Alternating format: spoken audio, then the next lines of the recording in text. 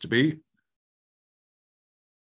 Where um, we've got Paul Smith joining us. I think, well, obviously you know that. I think that's responsible for the significant numbers this evening. Uh, but before I introduce Paul, I just remind you of a few things that are coming up. Um, the 27th of January, the Snowdrop Gala in Ballon. Hester, you're there somewhere. Um, are there any tickets left? You can unmute and let us know if there are any tickets left for Ballon. I know it was nearly booked up the other day. Um, there may be a few left. A few spaces left, a few. Okay, so there are a few left for Ballon. Thanks very much, Hester. Yeah, just yeah, the last few chalk ices. Last few chalk ices. So that's there. Always a great day. Um, talks in the morning and then um, Altamont in the afternoon. That's the 27th, which is Saturday week. And then Hester's own garden is open for members on the 3rd. And uh, I'm delighted to say that is also almost booked out. So you want to be fast off the blocks this evening or to press this evening to book that or tomorrow morning if not. So that's Coosheen in Cork. Uh, and that is on the 30, the 3rd of February. Uh, our next Zoom is the 31st of January. Sorry, I'm chopping backwards and forwards a bit on the calendar.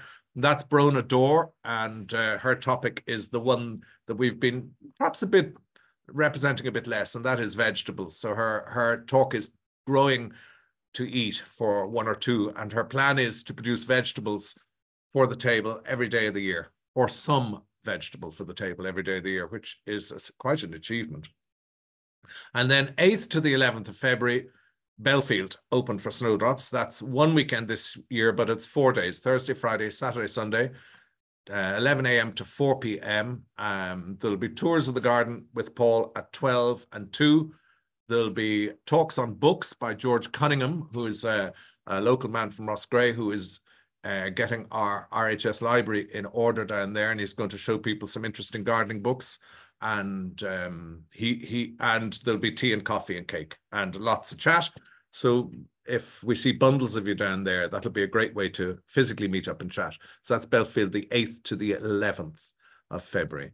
And then on the following weekend from the 11th, so that's the 18th, I think it is, um, there's another day in Fancroft Mill, Angela Jupe's former home nearby. And uh, there's a day there to raise money for the Bellefield Library, and that is going to involve a talk by John Feen, Feeney and um, George Cunningham on books, and a tour of the mill, and a tour of Angela's garden, now Marcus and Irene Sweeney's garden. So that's the second a second day in the middle. So there's loads happening, loads happening.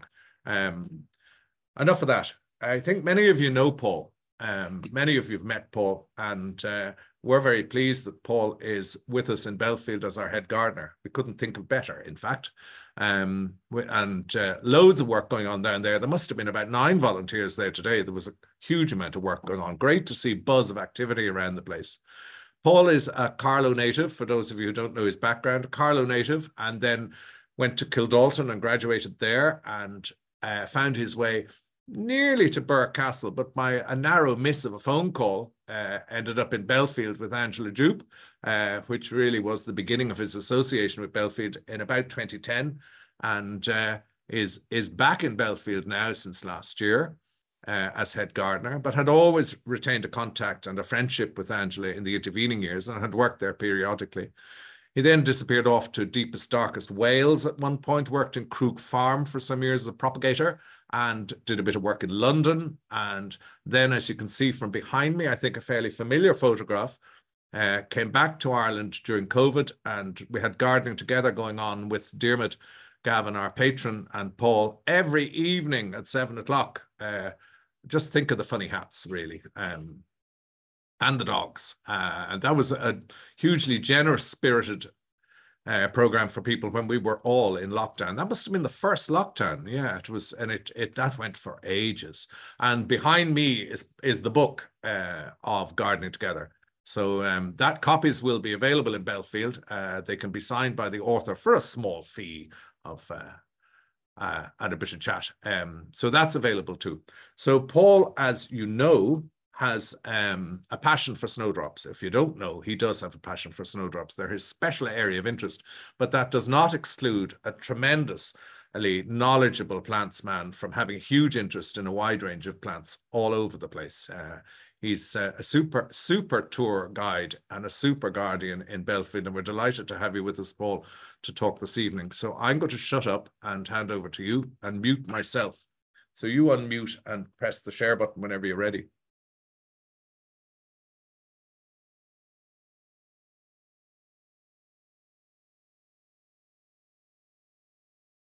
Sorry, that's better. Um, I found it. Uh, thank you, Philip, and thank you all for joining in tonight. Um, I didn't realize that I told Philip that it was a missed phone call how I uh, ended up in Bellefield, uh, but I obviously did. Um, but uh, yeah, it was one of those uh, strange twists of fate, I guess. But that's how. Uh, well, it's not how I ended up here, but it is uh, in a way how I ended up here. Um, and got in touch with Angela, and that was in I think autumn of 2012. So 12 years ago, I first uh, met her, and I have known her ever since. Uh, until her death uh, in 2021. And uh, Angela, just out of uh, curiosity, it is 20 years this year since she bought Bellefield. Uh, as Philip mentioned there, there is an event on in her old garden in Fancroft to raise money for our library kind of fund here. But her old garden, Fancroft, she sold that in 2006, but she bought here in late 2004. So Bellefield as a garden in Angela's time is only in its 20th year, and in those 20 years has changed um, quite dramatically and uh, will continue to change as uh, we uh, here in the RHSI um, with myself and Philip and Orla and all the other key people uh, involved down here in Bellefield um, uh, steer it into its kind of its new light. So what I'm going to do, I'm going to share the screen and hopefully it's all going to be okay. Uh, why isn't it letting me share?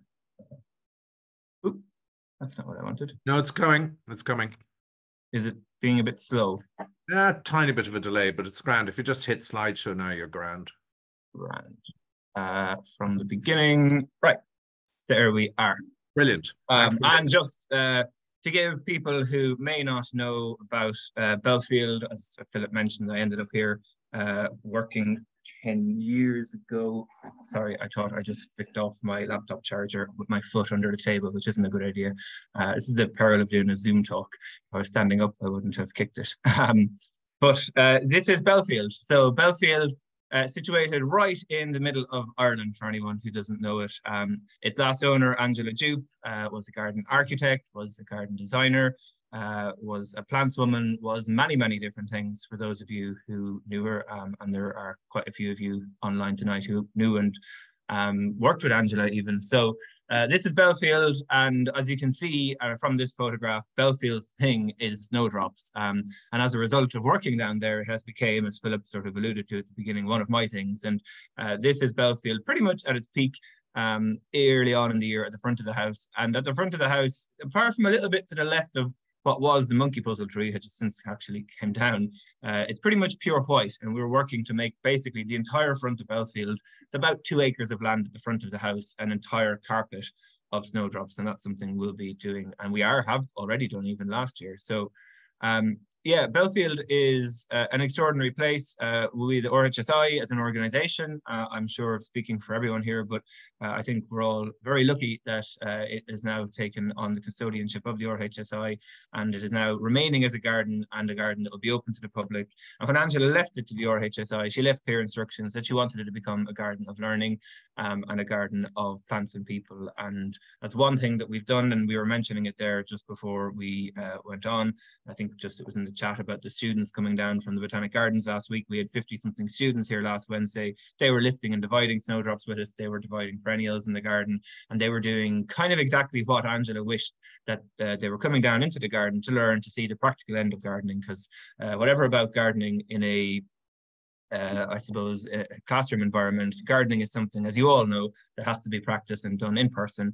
And uh, Bellefield will very much be a place where you will be doing that in person. So Tonight, I'm going to give you a very brief tour about snowdrops. Uh, I'm going to talk a little bit about them, but also other spring plants, other spring bulbs. It's not just snowdrops that we grow here. It is one of our main attractions, but we do have lots of other spring beauties, um, including dafts and cyclamen and what have you. And I'm going to mention a few of my favorites, mention a few of my favorite methods, talk a little bit about propagation of them, and just give you a general overview as well of, I suppose, Bellefield and the work that we're doing here um, all of the time. So uh, that's Bellefield, but let me move on to talking a bit more specifically about snowdrops. Um, I'm not going to use too many boring maps like this. Uh, it's not that boring, but most of the slides here are going to be more uh, interesting pictures. But this is just giving you an idea of snowdrops, and it actually applies to most bulbs. It doesn't just apply to snowdrops. Um, this is their kind of geographical distribution around Europe.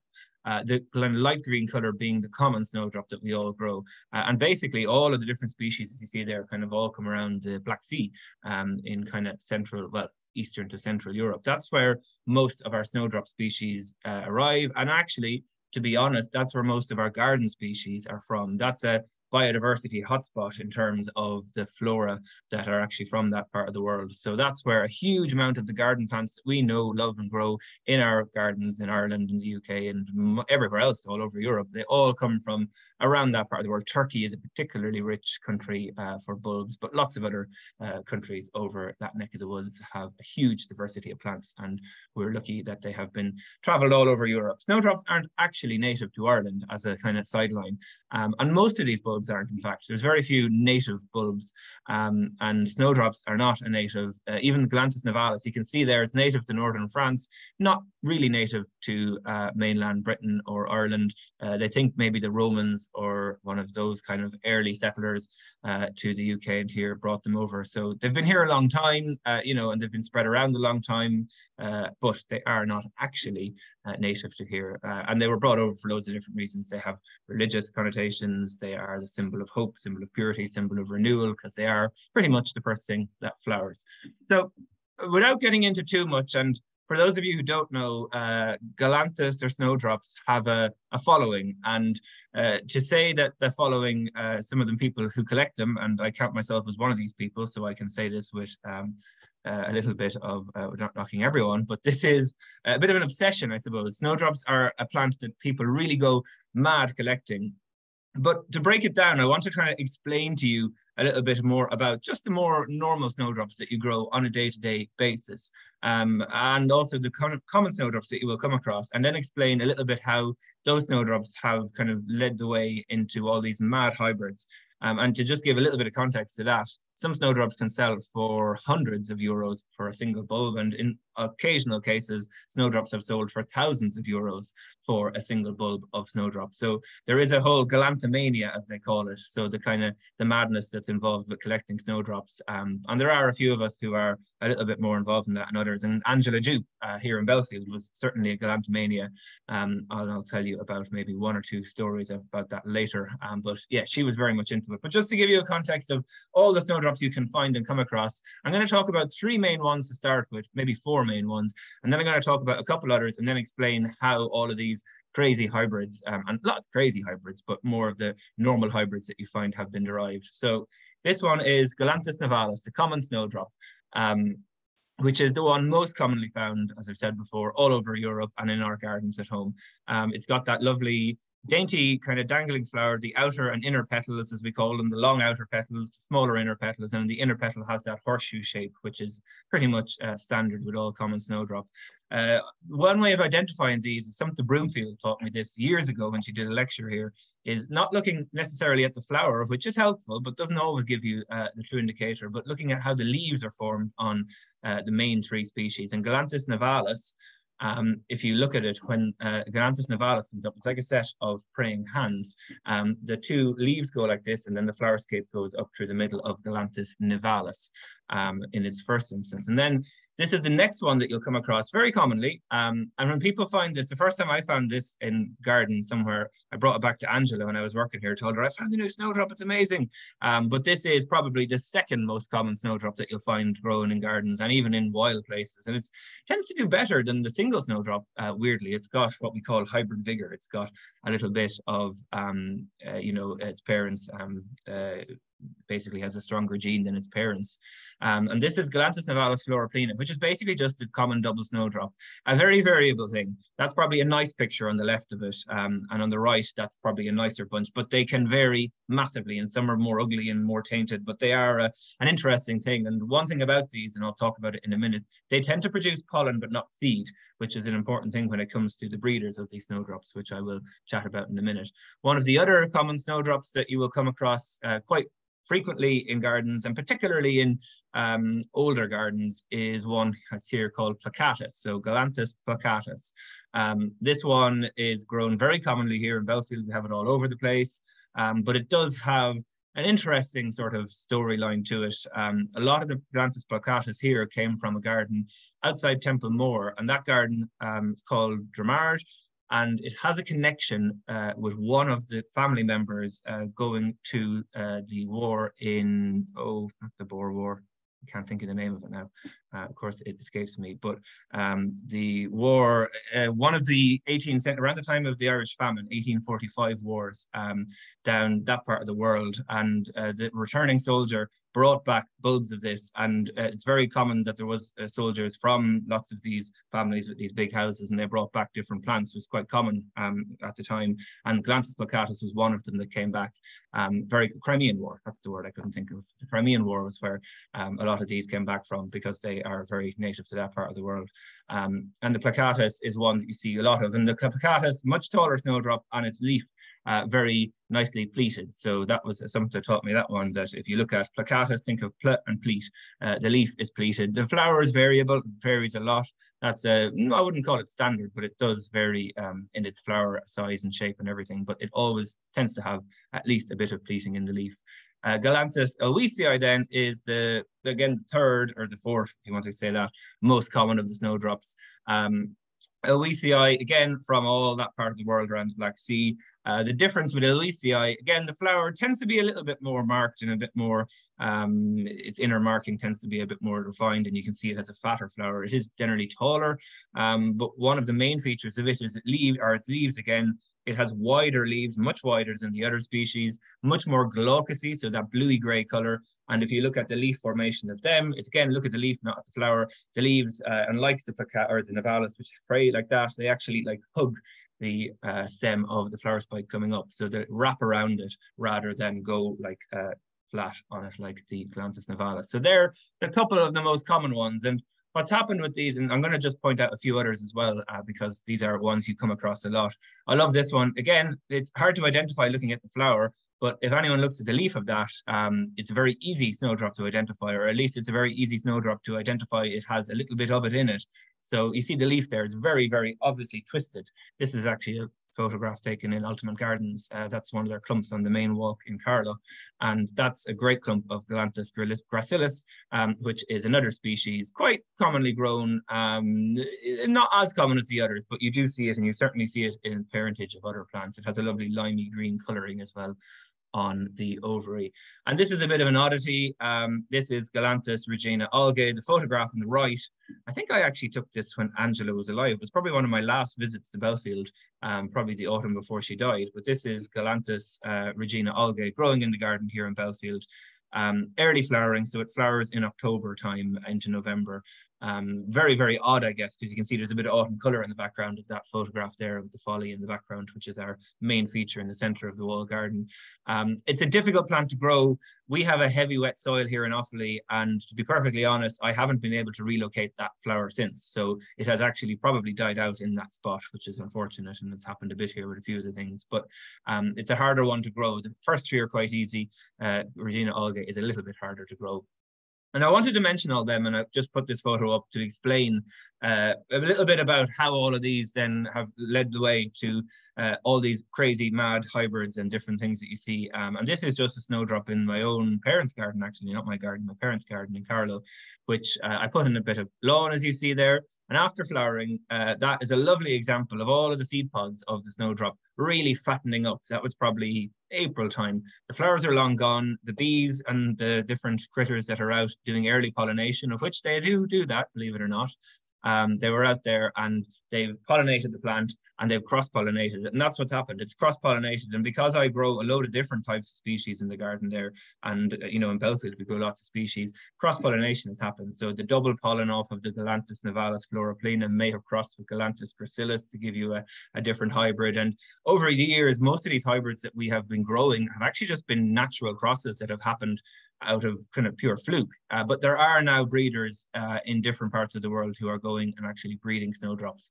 um, a notable couple of them, in fact, uh, and it's more and more common. But for a long time, bulbs and snowdrops uh, were just plants that were uh, basically found as fluke and then people would go and propagate them and sell them. Uh, and this is just to give you an example. So without me rabbiting on too much about snowdrops, which I promise I won't, I am going to mention other plants, but these are all the variations that you can get in uh, just a couple of flowers of snowdrops. And uh, there's a few very common ones there to the kind of right middle, uh, one called Diggory, which has got a very uh, ruffled bell shape to it. Um, to the left, I think Lady Elphinstone, uh, some of the yellows there, which are very obvious in their, um, you know, the yellowness, which is just a lack of chlorophyll, but that makes them a very distinct hybrid. And some have fuller markings, some have doubling, some have all sorts of different markings. But basically, um, there are all of the variations that you come across. And uh, I suppose for those of you who don't think much of snowdrops, apart from that they're pretty and they're early, this seems a little bit bonkers, but um, people do go mad for them and they are the first thing up in the garden. If I go out into the garden today,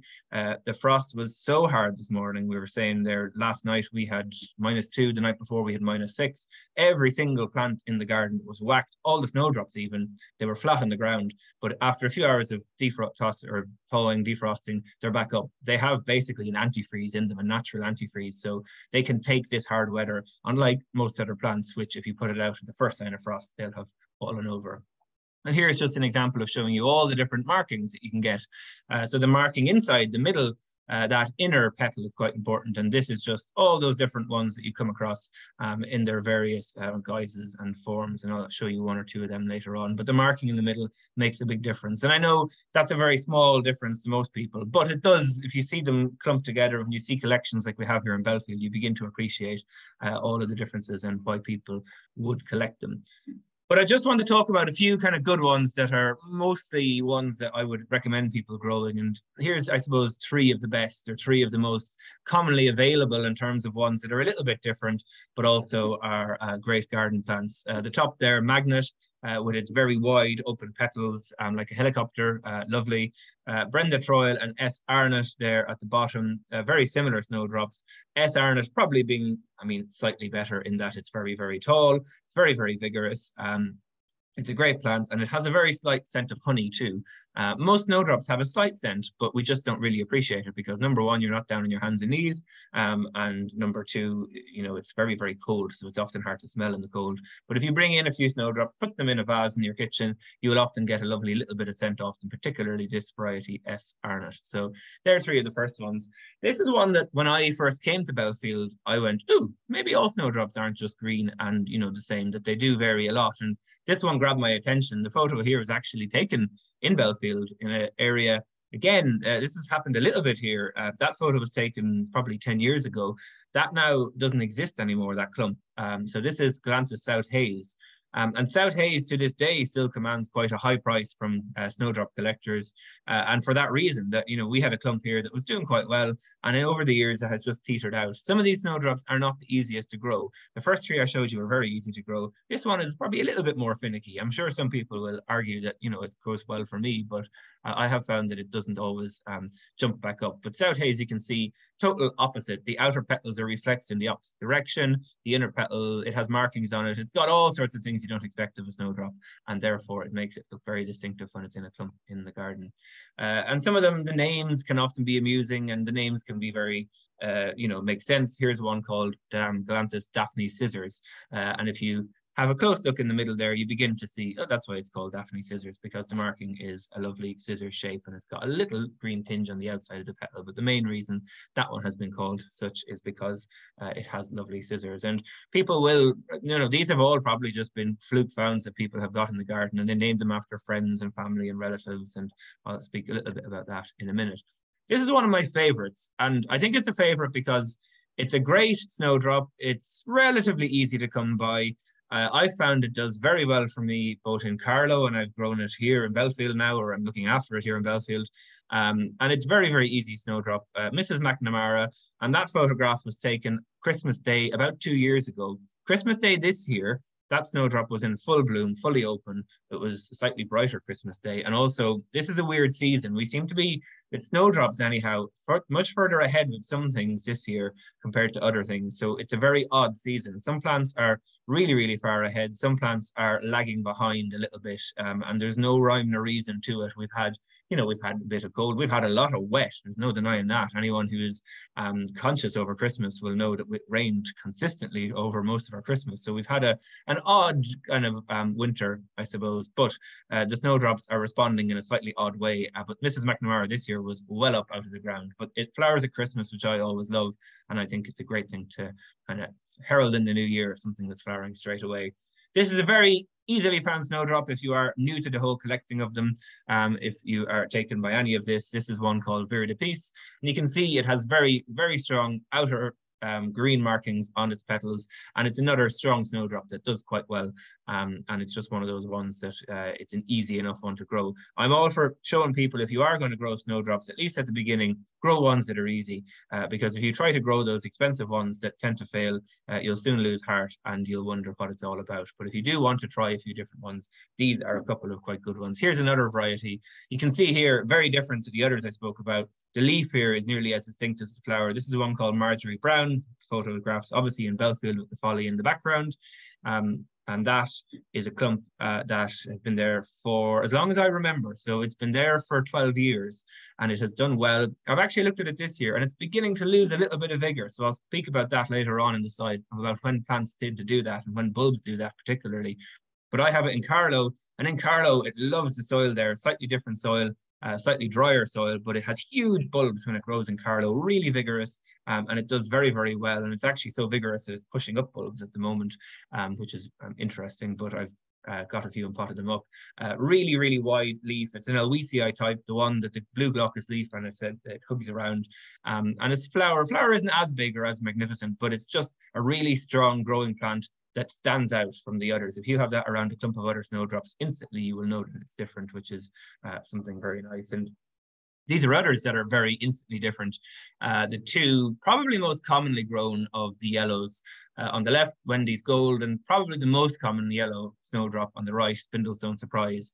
Uh, again, as I said earlier, the yellows are just plants, uh, snowdrops that are lacking a little bit of chlorophyll, a little bit of a genetic uh, defunct, really. And it's a bit odd when it comes to plants you know um, variegated plants are similar. We don't necessarily um, you know actually as uh, i suppose horticulturalists think that variegated plants are very good, but as gardeners and as uh, the ornamental gardeners, we all seem to love variegated plants. But in the wild, in nature, variegation is a bad thing. Uh, often it indicates a little bit of virus, doesn't in these cases, but a vari variegation basically means less chlorophyll, therefore less photosynthesis and a weaker plant. And it's no exception with these. These tend to be slightly weaker because they are yellow, they lack chlorophyll, they don't do as much photosynthesizing, um, but they still are, these are two very good varieties. Spindlestone Surprise, as I say, being slightly better. Wendy's Gold being a plicatus with its pleated leaf and its kind of huge inner marking, and they are both excellent yellow snowdrops. This is a really good snowdrop um, because it's just a standout one. It, it looks amazing, and it's just uh, one of those ones that you really like. This is one called Godfrey Owen, um, pure white. It is what they call, I think, a poculiform, which is where it has more outer petals than just the normal three. Um, it's got uh, just a big well, like standout vibrant snowdrop. And if you're growing a couple of plants and you don't have a lot of space, it's one that you grow and like that Marjorie Brown, instantly you kind of go, oh, that looks different. And it will draw your eye if you're going to just grow a couple of snowdrops. Um, named for Margaret Owen, who was an English galanthophile. Um, and actually, I went on a trip this year to a place called, I think it's Acton Pigott on the Welsh English border um, with Seamus O'Brien and Margie Phillips. And by pure coincidence and accident, we ended up coming across uh, the grave of both Godfrey Owen and Margaret Owen while looking at this churchyard. Um, Seamus was looking for the Acton family that owned Kilmacurragh in years gone by have family connections over there. And he was looking in this particular churchyard, and we went with him. We were rambling around, and all of a sudden, uh, we found the grave of both Godfrey Owen and Margaret Owen, a pure coincidence. And they were uh, English Galanthophiles. Well, Margaret Owen was in particular, and she named this variety for her husband. And this is just one of my favorites again because I found it to just do so well. Uh, I've had it in Carlow. I bought it.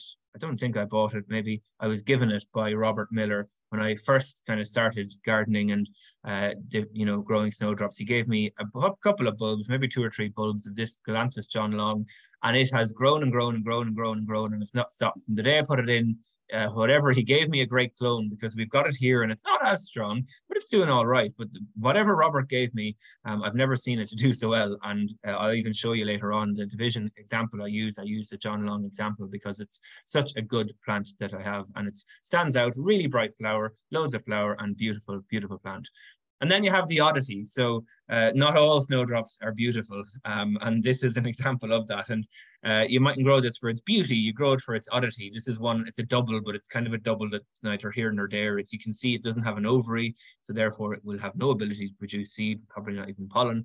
Um, but it is uh, definitely something different. Blueberry tart, um, I think Alan Street, the late Alan Street, uh, was the one who found that uh, from Avon Bulbs. Um, and Avon Bulbs are another UK uh, supplier that have lots of these. And moving closer to home uh, and closer to my own home in County Carlow, couldn't get any closer. This is Drummond's Giant. And Drummond's Giant was found by the late Stacia O'Neill, um, and she lived in Ballon in County Carlow, where the Snowdrop Gala is on, that Philip mentioned earlier. Um, and Drummond's was actually a seed company which was based in Carlow Town. My own granddad actually even worked in Drummond's uh, going back uh, many, many years ago. And in the 40s and 50s, it was a very, very uh, successful and big seed company that grew lots of uh, agricultural seed, but also garden plants, and they had a catalogue. And Stacia bought these plants off the catalogue years and years ago and grew it on. I think she bought just a common snowdrop, but was given this, which is a very obviously a Galanthus elwesii with its wide glaucous leaf, um, and it's really full inner marking. Not a very tall. It's called Drummond's giant, but it, it's a bit um, deceptive. It's not a giant, but it's still a very good, strong growing plant, which does very, very well. And uh, it's nice to have a plant with a connection to home when you're growing it. Um, and another plant with a connection to myself and Angela um, is this one. And this is a lovely plant. And I mentioned earlier, there is a garden in Tipperary, uh, Dramard, where myself and Angela would frequent for many, many years. Um, and it's actually now owned by the Garda Training College. And in Dramard, there was loads of snowdrops, and Angela would go there frequently with me, and we'd look through them um, as she was doing a study for the book that she never wrote about Irish snowdrops, and we were getting photographs and looking around and taking bits of snowdrops here and there. And we were going through this area of them. There's lots of, as I said earlier, the Galanthus plicatus, which is that plant which came over via the Crimean War. And we were walking in this clump, and I looked down and I saw this one, and I thought it's got a very distinct inner mark on it, and it looks quite an elegant plant. And I went, "Ooh, um, that's quite nice." But what I really wasn't expecting was when I turned the plant over, and you can see uh, when you turn it over, uh, right in the center, it has this most perfect double, um, doublation or doubling. Uh, the other doubles I showed you are kind of not very perfect or frilly, whereas this is a very neat, perfect double, um, which really made us go, wow. So we uh, went, wow, we can't leave that there. So we dug it up, we brought it back, and I grew it in Carlow, and it's done very well, and it's grown here. Um, and in the last couple of years, we have been spreading it out and giving it to different people.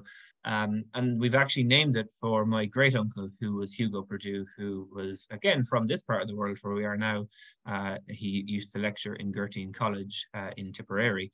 Um, and this is a snowdrop we named for him. And it's a snowdrop that I love because myself and Angela are both involved in the finding of it. And it's a very good uh, easy enough to grow one. And there is another Irish one called Hill Poë, which some people might go, they're very similar. They're similar, but they have their differences for sure. Um, and I just kind of compared the two here. This is Hill Poë versus Hugo Perdue. Hill Poë tends to have more outer petals. Um, it has at least, I think, four or five, if not more, and it has a slightly different inner. Uh, again, more outer. The inner is somewhat similar, but it has more outer petals. I think that's its key. Um, so that's Hill Poë versus uh, the other Galanthus Hugo Perdue and I don't think I, maybe we'll mention in a second, uh, but I just want to then talk about it's all fine. It's all lovely growing these beautiful snowdrops and they're, you know, very strange and quirky oddities and all these things. But actually, snowdrops en masse is where it is for most people. And uh, in Bellefield, we're lucky we have both. We've got our collections, we've got our, you know, collector's items and our stamp collection, if you want to call it that, of all these lovely named varieties. And we're working on it and we are doing a little bit at the moment of chopping and changing around to make it uh, work. But the main thing we have here is drifts of snowdrops. And we have what I call the snowdrop lawn. This is the main snowdrop lawn. We've got another snowdrop lawn that we've started to create ourselves in the last year or two. We've got six main lawns in the wall garden in Bellefield, which is just under two acres. And each bel or each lawn there, I try to turn into another type of bulb lawn. So this is the snowdrop lawn. We have the tulip lawn. We have the daffodil lawn. We have the primrose lawn, which isn't really a to uh, bulb. But basically, uh, for anyone who doesn't know, I hate cutting grass, which is ironic uh, because I am the head gardener here. But grass cutting to me uh, just uh, really isn't my favorite thing at all. Um, so instead of having lots of grass to cut, we have lots of bulb meadows to maintain. And we do cut the grass, obviously, but we just do it in a very different way. We manage this garden very differently to how you might expect a wall garden to be managed, but it does work. And it, here we go again at the front of the house uh, in Bellefield. As I said, as far as the eye can see, the plan is that the first front two acres of Bellefield will become white over the next few years. And we're doing that by lifting and dividing, which I'll show you in a while, all these snowdrops here. I also noticed on the way uh, I was doing this earlier, uh, actually someone has driven, if you see on the left-hand side there, of the snowdrops as you drove in here. Um, and it's a warning to anyone who's, you're coming to Bellefield over the next while, if you drive in any of the snowdrops, um, you'll have myself and Angela to talk to because the one thing Angela used to hate was when people drove into Bellefield and drove on the snowdrops, um, which happened quite frequently. You, wouldn't believe it. Um, but uh, I just had to laugh when I saw that someone had driven on the snowdrops when that photograph was taken. I think a couple of years ago. I'm not quite sure when. Um, and this is just a little bit of an oddity. Uh, 10 years ago, Angela did a snowdrop weekend um, in Bellefield, where she got the great and the good of the snowdrop world over. Uh, Dr. Tom Mitchell came from the UK, from uh, his evolution plants nursery. Sumter Broomfield did a talk, among loads of other people.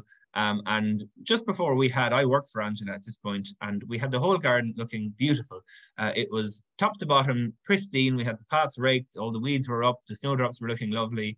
Um, it was, you know, ready to go. And then we had one of these storms, which seemed to be unfortunately more frequently. And at the time, uh, there was a big old willow tree right in the middle of the snowdrop lawn, and you can see it there. Um, it's no longer in the middle of the snowdrop lawn because in that photograph it's on its side. It's since been cut away. But I always thought it was hilarious that all the snowdrops in that big tuft of grass or in the big kind of sod that came up with the plate of that willow tree managed to do their thing. They grew there. And actually, to this day, that plate is still there and it's still on its side. And those snowdrops have still grown away quite happily. Um, so people often do that when you're putting in bulbs and things. It doesn't matter if you put them upside down or you put them on their side or you put them on a steep bank, they will still do. Um, they love getting winter dry um, or sorry, not winter dry, summer dry. Uh, so if they put on a really steep bank like that, they're generally no problem at all. They come from areas of the world where they don't get a lot of water in the summer, so they don't need a huge amount of attention in that sense. Um, and for anyone who doesn't know, the wall garden here for 30 years was idle and that's why we had willow trees of this size growing in it. This is just a goat willow of which there are still two or three left. Um, but unfortunately they are, as people know, shallow rooted willow trees and they do blow over occasionally. So our whole garden, which looked lovely just before this talk, turned into this uh, chaos of all sorts of trees falling here, there and everywhere. And all we could do was empty the paths and let people around. And uh, anyone who was at that day will remember there was trees kind of toppled like dominoes all over the garden, but it was still beautiful and there was still lots of things to admire and lots of snowdrops to admire. And there's something that would have greeted anyone that came to that day. Uh, that's the main drift of snowdrops as you enter into the Bellefield uh, kind of site on the right hand side. Slightly different now. There is a back entrance cutting through that, so it's not got the same effect fully. This was done by mistake. excuse me, Angela had a guy here, Gregor, who was working for her, and she went out and gave him instructions. And Angela would often give instructions, go away for the day and come back. Um, and if you didn't always follow the instructions, which I was also guilty of occasionally, uh, you tended to get an earful of it. Um, and I'm sure Gregor at the time got an earful of it for doing this in this way because it was not how she meant it to happen. But actually, it turned into a lovely a sea or river of snowdrops. Um, he did it in a very sort of meticulous and uh, I suppose well thought out way. But as it happens, it turned into a lovely um, unusual drift of snowdrops, which everyone used to comment on and still do. Um, you still get it to an, an effect, uh, but it's not quite as uh, good now at the roadway through it. But uh, moving away from snowdrops, I don't want to talk too much about them. I certainly don't want to talk about them all night to uh, bore you all. But these are other plants which we have lots of here. And this is a great bulb for early spring, cyclamen coum. So the cyclamen hederifolium is the autumn uh, cyclamen. This is the spring cyclamen. And you can see here, this is under the red chestnut tree at the front of the house. When it's happy, it is really happy. Um, and this is it growing right at the base in dry shade of a tree, gets very little direct light, um, but they, and it gets very, very little water, I tell you that. And the grass hardly grows here at all, which is why we've just got this carpet of cyclamen, um, but they do remarkably well. Uh, cyclamen hederifolium is the autumn cyclamen, much stronger. The cyclamen coum is the spring cyclamen, really hardy, but it tends to be a little bit um, harder to grow alongside the autumn one. So what we tend to do is we put the autumn one in one part of the garden, the spring one, the coum goes in another part of the garden. And most people, when you think of cyclamen, you think of the bedding plants you get in the garden centres, um, and they just do not do. Um, they're not a plant, that, you know, the, generally the bedding plants you get in the garden centres are cyclamen persicum, uh, which are fine, they look lovely, they have big show-off flowers, but they're not hardy at all. Uh, whereas the cyclamen coum is as hardy as you like. It was getting uh, the flowers are on it. A couple of the early flowers are on it now, and it was getting absolutely uh, knocked out there today, and it's doing fine. Here's a photo actually taken in uh, Rory Newell's garden over in Galway a few Christmases ago, and you can see on that the frost has just touched them. It was a, I think around Christmas time. So that's uh, how early they flower. They flower at Christmas time, and they begin to flower then, and they peak around February, March, and they keep flowering into April. Uh, they're one of those plants that you get such value for money for, like hellebores, which I'll talk about later. They give you such a long flowering period, cyclamen coum, and they really are worth it. And here, uh, it's not just growing on its own, but we do hear lots of kind of combination planting of these bulbs. And this is a few different bulbs grown together, which uh, obviously go to great effect. So the main being the Galanthus nivalis, uh, which Angela put in. The blue that you see there is Iris reticulata harmony, which is a great uh, small dwarf iris, and it has naturalized very well in this area underneath the kind of more rough uh, beach of it. And you can see in the back, it just pots it blue all the way through. It has done remarkably well, um, which is great to see. The cyclamen coum is there as well. You can see there's a little bit of aconite, which I'll touch on in a bit. But that combination is really lovely. And this is one of my favorite areas in the garden, even though it's just under the trees at the front of the house.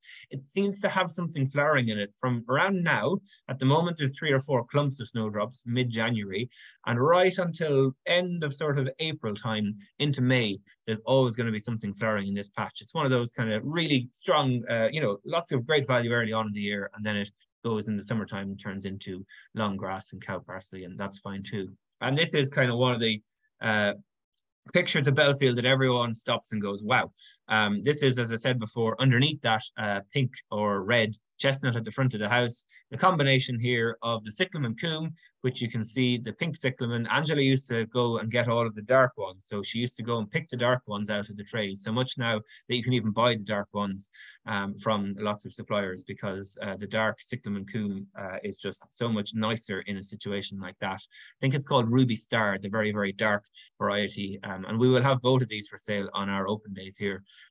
Uh, and they'll also have them up in Altamont plants uh, for the Snowdrop Gala for anyone who's interested in them. But they're combined with all those different snowdrops. So look at the snowdrops. If you just uh, take a minute, look at them there. There's some quite small ones. There's some fat leaf, taller ones with less flower. There's some ones that have only opened with small buds on them. There's some that have nearly gone over. Uh, there's such variation and combination in that. And I think that's the kind of key to Bellefield. Um, we don't have just one snowdrop in one spot. We've got all those different varieties and variations. And Angela was great. Angela wasn't always fantastic at naming all of these snowdrops and putting out the names, but she was great at trying them in areas where most people wouldn't. We've got one snowdrop called Green Tear, which some of you will know uh, if you're collectors, which is quite an expensive bulb still, really beautiful dark green plant. And it's grown out in an area of kind of damp woodland where you would not expect it to grow and it does absolutely fine. And it's quite extraordinary that it's doing so well. So she was trying things and when they worked, they really did work. And this is one of those areas that she kept adding to. She kept planting cyclamen coum here. Uh, that's not to say that this didn't have loads and loads of plants and you have to appreciate that too. There was loads of plants put in here, but it really made a difference. And the other, you can see the crocus popping up, which I'll talk about in a minute. I'm going to fly through now daffodils. I realize that I'm probably talking a bit longer than I should, um, but these are the daffodils. Philip will interrupt me um, probably when the hour is up maybe or something, so I don't go over too much. But these are daffs. Um, And I just want to mention how I grow daffodils and how we grow them here. This year, we were very fortunate. Esker Farm daffodils, which are based up in Northern Ireland, and now have a huge snowdrop collection too. Uh, so for anyone interested in getting into snowdrops, Esker Farm daffodils are one of the newest and uh, I suppose one of the bigger suppliers now of snowdrops in the country. But they obviously, daffodils are their main thing. Uh, they gave us this year an absolute load of uh, daffodils and we've potted them all. And the reason I pot them all is I show you here in this photograph. This was my own garden, or my parents' garden in Carlow years ago. I bought loads of different varieties of daffodil. As you can see there, daffodil come in loads of different varieties. If you think snowdrops are bad, daffodils are worse. There's about 3,000 named snowdrops. There's about 27,000 named daffodils. So nine times the problem when it comes to daffs. There are a bit more variation in them though. But I plant them in pots. I then sink the pots into a bed. And what I do then is when they're up in full bloom like this, I move them around the garden not just two things. Number one, you can see how tall they are, what color they are, where they will go, what combinations will or won't work if you're trying to get the garden looking, you know, at its absolute best. And the other thing that it does, when you're planting these bulbs in the autumn time, I'm sure many of you have done it, you're digging up a plant or you're digging ground, putting in a snowdrop or a daffodil bulb that you want and you really have a place for it. And then next thing you hit another daffodil or another snowdrop or something else that you've planted there before because we all are guilty of overplanting our gardens. But if you put them in pots and put them in the area when they're all up. When everything else is up, you tend to not know then to dig in the places where there's only gaps. So it's one good way of being able to grow lots of snowdrops or lots of daffodils, I should say. Sorry, I have snowdrops in the brain. And this is just one of the oldest varieties. It's around since the 16th century. Uh, my grandmother and my mom, I think, took this from an old abandoned cottage in Mayo. And that's where you often find this variety of Narcissus van Sion. Um, it's been around for an awful long time since I think the 15th or 16th century. It's a double daffodil. You can see here, lovely doubling, quite varied. Um, but it, for some reason, double plants, uh, the double snowdrop is the same. They tend to persist, and this is a great one that persists for an awful long time uh, in gardens and is just a great all-rounder plant, which again has been left there and neglected by the side of the bins at home. This is in Carlow, and it's doing fine after all them years. Uh, again, this is a my parents' place in Carlow, and this is just a, daffodil that you can't be without. Um, doesn't matter how much of a gardener you are, you can't not but love Narcissus tete-a-tete. We have it here sprinkled out throughout parts of the woodland. Um, on the right hand side there. It was given to me in a bucket by somebody who had it. And over the years, I've been digging it out and spreading it. So basically, now that whole bed is basically yellow for a few weeks of the year. And they come up, they flower. They're small, they're dainty, they're dwarf as well. So they don't have huge dirty tatty foliage, which some daffodils can have. It's a bit mean saying it's dirty tatty foliage, but daffodils can, uh, but tete-a-tete does not. And its cousin, uh, tete boucle, uh, that's an awful uh, way of pronouncing French, and I apologize to anyone. Uh, I'm sure it's someone who will say it better, but tete boucle, boucle. Anyhow, uh, it's a double version of that same plant, and it is a fantastic one as well just as nice as tete-a-tete, but it's a double and as a result lasts a bit longer and gives you a little bit more interest and is very easily got now from all the suppliers uh, in different places uh, across. And this is just um, a side note here, I suppose, myself and Angela, um, when I was working with her, actually it wasn't, it was when I was working in the UK, uh, she rang me one day and she said, I'm coming down to Cornwall. Uh, where are you? Can you meet me such and such a place? So I met her outside of Bath and we hopped down to Cornwall and we went to this place, which was Ron Scamp's um, daffodils. He's got a place called Quality Daffodils, which is on the kind of Cornish Devon border, I think. Could be wrong there. But anyhow, the story here is during the Second World War, uh, Cornwall was a place where all of the market um, daffodils were grown for London. And there was loads of ancient varieties, not ancient, but old varieties, which have been grown for hundreds and hundreds of years.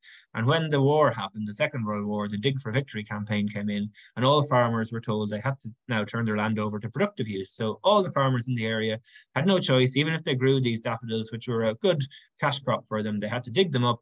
And what they did often was they threw them in the old hedgerows and then they turned their fields over to cultivating crops for the war effort. And Ron Scamp went around and spent his whole life going into these hedgerows all around the Cornish and Devon countrysides and collecting these old varieties, which had often been lost and may not have been in cultivation for a long time. And he brought them back here and he's grown them in this place. So all of these are small bunches of uh, the varieties. Uh, and Esker Farm, as I mentioned earlier, their uh, place is very much like this. Um, I saw it in the autumn time. I haven't seen it in spring yet, but they grow a small selection of older varieties, uh, very, very often with Irish connections. Uh, Brian Duncan, who had the place before them uh, at the company, was very good at collecting and breeding and also growing these old varieties as well as new modern ones. This is just another little small little bulb, Narcissus cyclamineus. Um, it's a great little alpine uh, narcissus, grows very well here. Um, grows exceptionally well in Carlow, uh, despite it being dry, and I've heard that it does prefer a slightly damper spot. But every year it comes up, uh, it looks like it's got its uh, hair caught in the wind. Um, it's got very, very reflex outer petals here for a daffodil, but small little dainty alpine one, which is a great early narcissus as well, which is quite nice. And another very early narcissus is this one, this is flowering outside at the moment in a pot. I bought it uh, probably five or six years ago from Farmer Gracy, uh, maybe not that long ago. And I've discovered the key to growing Narcissus bulbocodium is just utter neglect. Uh, plant it and forget about it. And this has been in the same pot now for five or six years. Every year I forget about it. I throw it around the back of the garage or somewhere here, and I bring it out then the end of autumn, and it gets watered, and all of a sudden it comes up and it flowers beautifully. This year it's been so neglected. The pot that it was in has fallen apart, and it is now there sitting bare root without a pot in it, and it's still flowering away. Um, so it's one of those plants that just you can't. I mean, they're quite meant to be quite difficult to grow, but I've always found them uh, the best way to do them is to uh, neglect it nearly. This is another cute little daffodil uh, if you want to grow something small and a kind of collectory thing. Narcissus rupicola, that is my own hand holding onto it there. So you can see it's absolutely tiny. It's between my index and ring finger. Um, tiny, beautiful little dwarf narcissus. There's a whole load of dwarf narcissus out there and they are beautiful and often highly scented too. Um, and this is another uh, I suppose I wouldn't call it a great daffodil because I find it such a difficult one to grow, but it's one that everyone wants to grow. It's Narcissus Cedric Morris, um, which has grown uh, for lots of people, it flowers very, very early, probably one of the first ones to flower. But it seems to be a plant that's very difficult to bulk up and to source.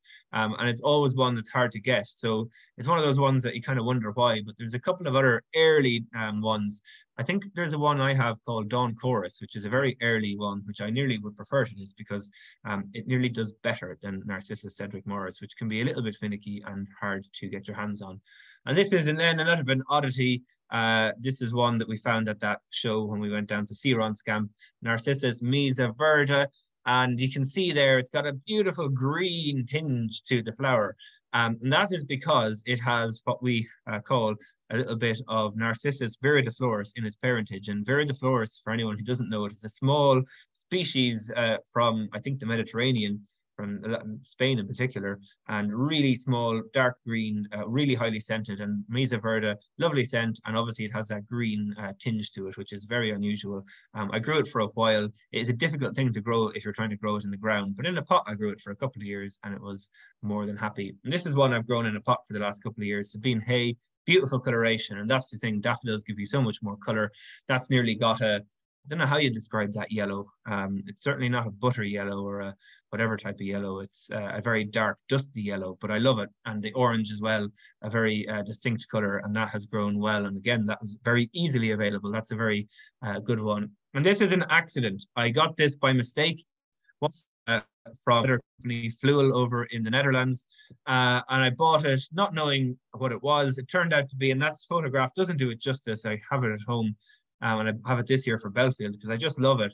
Um, it's the most pure ivory white daffodil and perfectly shaped narcissus I've ever grown and had, and I've just really, really love it. Um, I got it this year. It has big bulbs, and it's just a really stunning uh, daffodil, which has been one that uh, when I first grew it, I didn't think anything of it. I think I meant to get a different type, and it really caught my imagination. And I went, wow, um, I'm glad I have that. So it's a really great one to keep your eyes out for. A little bit harder to get. And Poeticus, um, I mentioned about putting daffodils in the lawn. This is the pheasant eye daffodil, Narcissus poeticus, and it does so well when you put it into naturalized areas, particularly damp lawns, of which we have many here in Bellefield. And just as a side note, this is uh, when we were down in Ron Scamp's, uh, there was a big pile of old daffodils outside his workshop, or shed, I should say. And he said to us, we can take whatever we want from that. And I went through and picked out one or two things. And this is one I picked out from that big, big pile. And I've always loved it because I don't know, I hope the color looks okay on your computer, but the, it's the darkest kind of orange, which is nearly red, that I've ever seen in a daffodil, and it always stands out. And it hasn't bulked up particularly well. It's been quite slow. It has started to do a little bit more, but it's always caught my attention where I've grown it in Carlow for a long number of years. I don't know what it's called.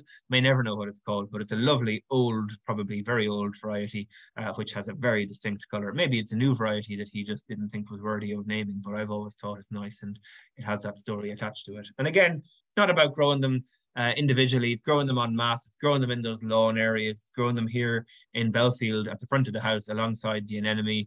Um, which does very well here, the blue wood anemone. Uh, that's where I think daffodils are at their best when you grow them like that on mass, not individually, but when you grow them here and with lots of different varieties. Um, I couldn't find a photograph, but my grandparents' garden in Carlow when I was smaller, it used to have, instead of a lawn, it just had loads and loads of daffodils and they were all different colors and heights and shapes and sizes and everything. And it was lovely. Um, and I think that's how daffodils should be grown. And we've done that this year. Esker very kindly donated us loads of daffodils. So we've probably planted nearly a thousand or so in one of our lawns. So hopefully in the next couple of years, it mightn't happen straight away, but we'll have this effect in some of the wall garden. Moving on to another bulb, uh, just tulips. Uh, I'm going to quickly mention some of the best ones here. Queen of the Night, that dark, rich, uh, vibrant tulip. Uh, very tall too, so it's great for the border. Um, not so great for pots. Um, and this is it in Bellefield going back many, many years. And Bellefield has a great, uh, had a great tulip collection, probably not so much now, but last year for some reason we had great tulips in the garden without planting very few at all. So hopefully that will change over the next while. Um, and you can see here, this was what is called what we call the orange border, uh, going back a good few years uh, when the tulips were at their peak. And this is around the pond area. Um, I was actually putting this in and maybe I shouldn't put this in. Uh, I'll just note this was long before the RHSI took over. This was when Angela was here, and the lawn was sprayed off uh, because Angela did use chemicals, but we haven't used chemicals at all since we've taken over. Um, but I wanted to show you the pots because uh, when it comes to pots, and I'll talk about them in a minute, more is more, and you just have to fill pots with plants, uh, especially tulips and bulbs, to get that effect. And you can see here it's probably I don't know want to even guess how many bulbs are in those two containers there, the big old buckets, tear buckets from the grain factory, but they're amazing and they do look very very well. And like that, it's all when it's on mass. One or two tulips look lovely, but when you have them on mass, you really get the effect. And I'm just going to flick through showing you the garden with all those daffodils and tulips. That's a daffodil called White Lady, which we have lots of, a very old variety, highly scented, and a beautiful, elegant kind of form to it as well. And this is around the folly area when you grow some of these plants together. So lots of spring plants in here. Hellebores, there's magnolia, there's obviously daffodils, there's primrose, there's omphalodes, uh, there's a little bit of everything and you get that lovely chocolate box combination. There's the anemones, um, unfortunately, that area has declined in the last couple of years, but uh, it is a great little tapestry of what you can do by combining all of these plants together. Um, and we will try to recreate that in parts of the garden here in time. And again, looking through the garden in springtime, uh, it's looking lovely and just you've got endless bloom and endless interest in the garden when you at that time. Just mentioning a couple of the species tulips, um, and I'll mention a few of the bigger ones. Species ones are great, particularly if you want to put them into grass, which I want to do more and more of here. So again, I'm more interested in growing these bulbs in the lawns nowadays than I am in the borders. Uh, this is on the left, Cynthia, which is great. And on the right, peppermint stick, which I've grown in the lawns different times here, and it's done well on each occasion. Um, they're great uh, small ones. Uh, peppermint stick tends to be better in the lawns than Cynthia. Cynthia is a bit smaller, dwarf, and very early but it doesn't make it any more um, beautiful. And Fly Away, I'll show you a better photo of Fly Away in a few minutes.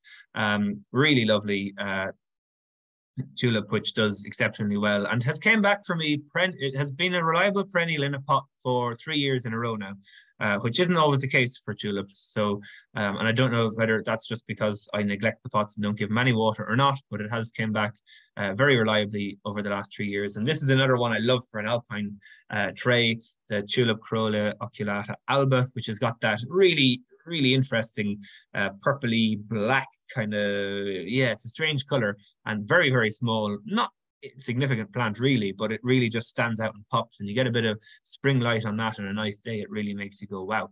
Um, it is a beautiful tulip. And here's one, uh, may divide opinions, uh, may not be so beautiful, but I always like the oddities. I like the odd and the quirky and the different and the things that make people go, hmm, uh, what's that? Or is that so great? This is Tulip Go Go Red. Um, which is, uh, yeah, uh, make up your own opinion on it, I suppose. Uh, you either like it or love it. It's um, like it or hate it, I should say. It's a marmitey kind of tulip, marmitey plant, but uh, we have to grow some of them in our gardens too to get people's attention. Um, speaking of getting people's attention, this might get your attention um, because I have been rabbiting on a while, but I want to uh, mention lasagnas. And I don't want to mention lasagnas because I'm not going to give you a cookery lesson, but I want to mention them because I want to show you very briefly how I grow and how we grow here in Bellefield our pots of tulips and bulbs in particular, um, not just um, our tulips, but everything. Uh, so the lasagna, by lasagna, the whole thing here, as you can see, the lasagnas are in their lovely layers. Um, and that is why uh, we grow them, uh, which is how we better grow them. Um, and this is just how we do it. So we put a small bit of compost in the bottom of the pot, we put in our bulbs, and then we layer it up. So we put another layer of compost and we put another layer of bulbs. And what we do is we put the largest bulbs at the bottom of the pot, about three quarters of the way down-ish, and then we keep going up and up and up and up to the smallest bulbs at the top. So in this example, the tulips go in the bottom, often the daffodils go in the bottom. The next layer then would be something maybe like uh, crocus, uh, fritillaria, scillas, whatever you have, you layer, layer, layer, layer, layer the whole way to the top. And in one pot, you could put 50, 60 and more bulbs. And I would even put them nearly a little bit closer than that. You could put a lot of bulbs in the pot. Um, and there's an example of it on the side. You just put the biggest in the bottom, smallest going up to the very smallest in the top. And you can do three layers, you can do four, you can do five, you can do two, one, even if you want. But the more you put in, obviously, the more you get and the more succession flowering. And this was one that I did a couple of years ago. Um, I used tin buckets. I got old tin buckets from the hardware that were being sold off for half nothing, drilled holes in them. You have to drill holes in your buckets if you're going to put bulbs in them or whatever container. You will not grow tulips or any plant if you're trying to grow it without a hole in the bucket. Um, so these are just tin galvanized buckets filled with layers and layers and layers of uh, all these tulips and various different plants. And they did very well. The unfortunate thing there was COVID happened, so I never got to see them fully flower. But I did get to see other ones fully flower. And this is just to show you, this is in an old granite trough, but this is given a little example of the succession. Uh, on the right-hand side, the crocus there, um, and then the crocus are replaced on the left by the scilla and the purple viola. You can put a layer of uh, spring bedding on the top. I often put viola because they last all through the winter and they flower their socks off well into spring. Uh, the one thing I would mark, mark about that photo is that probably wasn't enough plants in there. When it comes to pots, more is more. Um, it's not often in gardening you say that and you want to be careful, but when it comes to pots, you really do need to pack them in to get the impact that you really want. So that's just showing that. And this is how I grow them at home in Carlow when I lived there with my parents. This is the back door of the house, which is always a concrete pad and I always like to um, judge it up a bit. So we put in loads of different containers, old tin bats, old chimney pots, old terracotta pots. Uh, some of them are just plastic pots hidden away that you can't see. And in all of those pots, I put different plants, some spring plants, there's some polyanthus and primrose there, but mainly layers and layers of these lasagna plantings, which you can see there. This was a crocus time with a couple of the violas poking through. And this was a little bit later on that year with the daffodils and the hyacinths poking through. And I also uh, add, combine a few bits of dwarf conifers, which work well in those kind of scenarios. And I do like. Um, this are the tin bats, uh, the hyacinth uh, woodstock, which is a great one, and the daffodil called carice, which is a lovely um, one with its reflex petals and a kind of interesting uh, lighter color than the rest. And then these are just them as they go through the season. So the tulips are, are starting to come on and the daffodils wane off. So you, every single couple of weeks, you come back and they change. I was working away when this was planted and I came back every few weeks and it changed dramatically all the time. Um, and here was it, pretty much at its peak with the tulips coming there. I think there's ballerina tulip in the background, that orange. Uh, the dark red tulip, I think, is Oscar, and at the front is Charade or Orange Princess.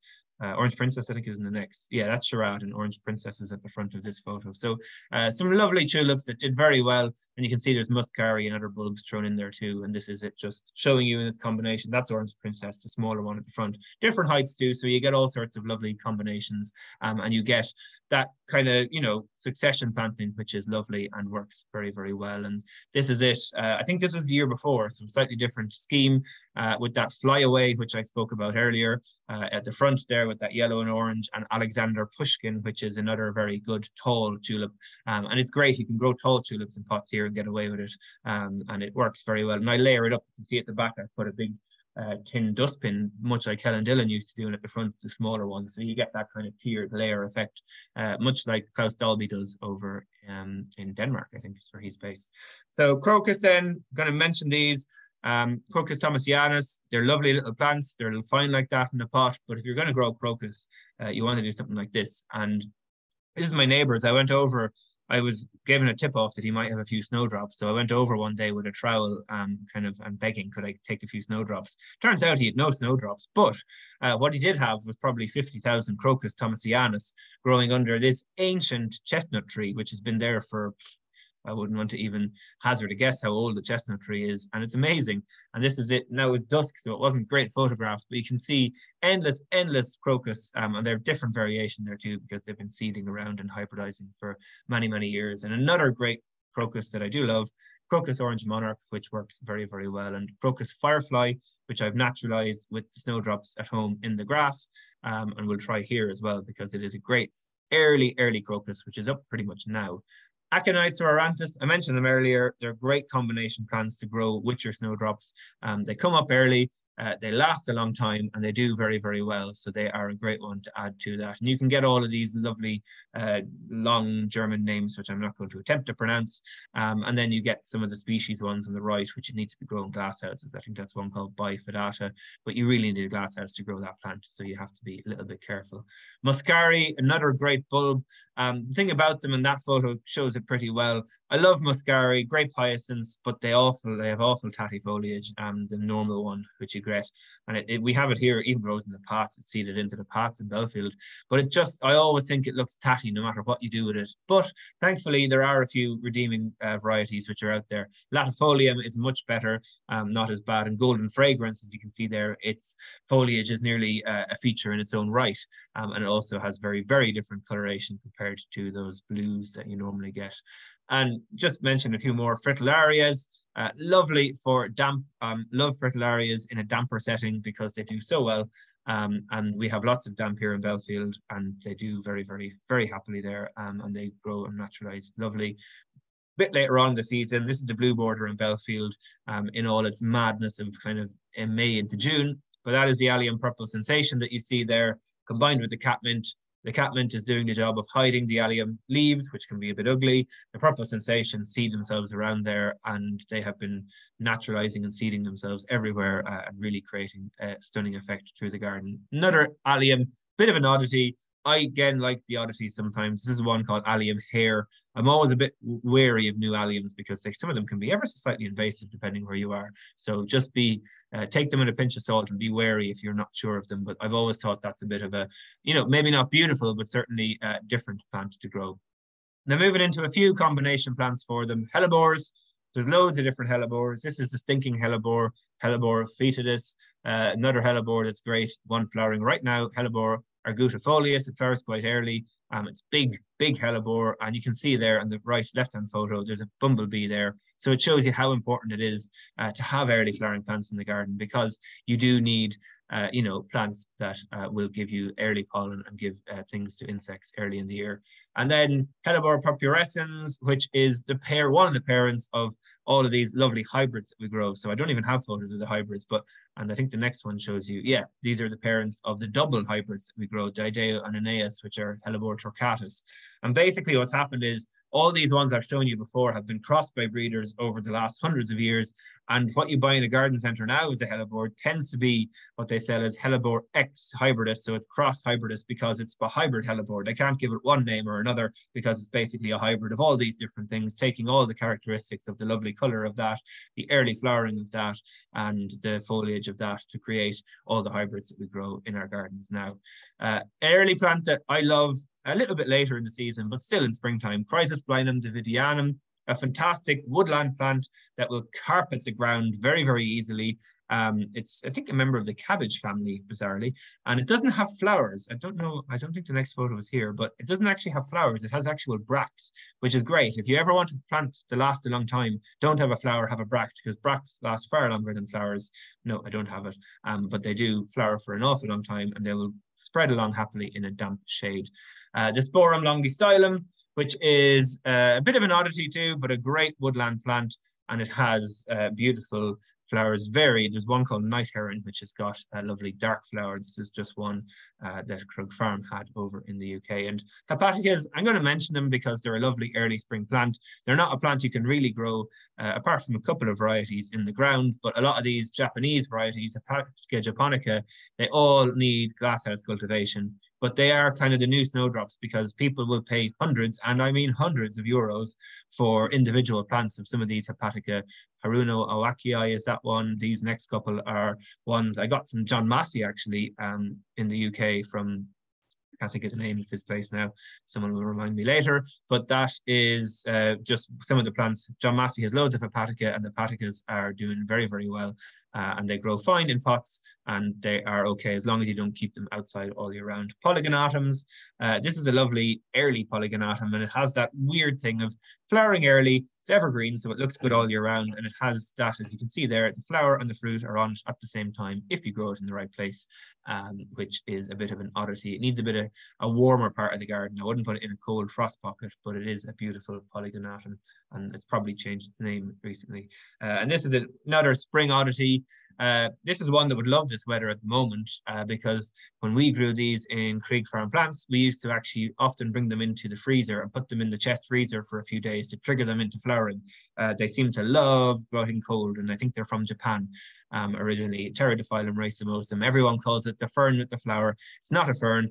Uh, if a fern had a flower, it wouldn't be a fern, but these all have fern-like foliage and lovely white flowers.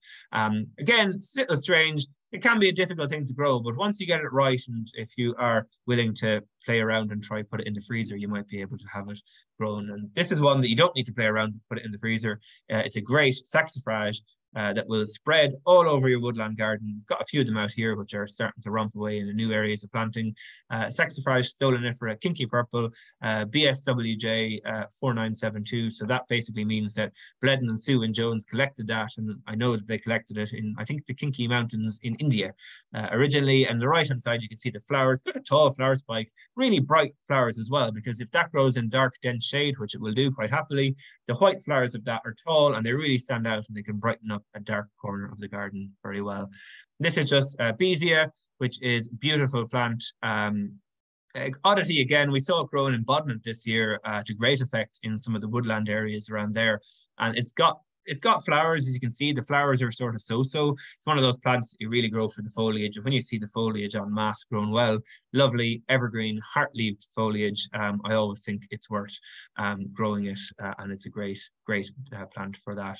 Just to give you then, very briefly, I know I've been rabbiting on, but I want to just explain to you about splitting up and dividing snowdrops and in particular, uh, well, in particular snowdrops, most bulbs this applies to, but uh, in snowdrops particularly. I mentioned earlier, John Long was a snowdrop that I got from Robert Miller as a couple of bulbs a few years ago. Look what it's done. This is John Long in the garden here in Carlow and it is just grumping. And that's from a few bulbs that turned into this almighty clump. And Robert came over one day and he said, God, you need to dig that up and divide it, or you might end up losing it because uh, snowdrops are a bit finicky like that. And also, it's a perfect opportunity to make more of them. So off I went, took it up. Um, you dig up snowdrops very easily. They're very shallow rooted compared to other bulbs. You try to dig a daffodil, you might have to go down nearly a foot. Snowdrops come up very easily, and I didn't do a lot of effort to get that snowdrop up out of the ground. Divided them apart, so that was pulling them out into their clumps. And I was trying to get a fistful size clump. You can be very mean and put them nearly in ones and twos, and occasionally will do that. But in this case, I wasn't being so mean. So I pulled them out into kind of clumps that would fit into my hand, basically. So nice few bulbs there. You can see maybe five or six more in that particular clump, and they're doing very well. So divided them all out. From that, I got, I think, nearly 12 decent clumps. Um, and I could have been much meaner, but I wasn't. Put them back into the ground with their foliage a bit falling over the place. Doesn't matter. Put them in roughly at the same level of where they came out. Spread them over that whole area. So instead of having one clump now, I'm going to have a drift in that area. That was them in, I think, the end of 22. And in 23, this is what they did. So all of those little ones came and they flowered in this lovely clump here and did very, very well, which was lovely to see.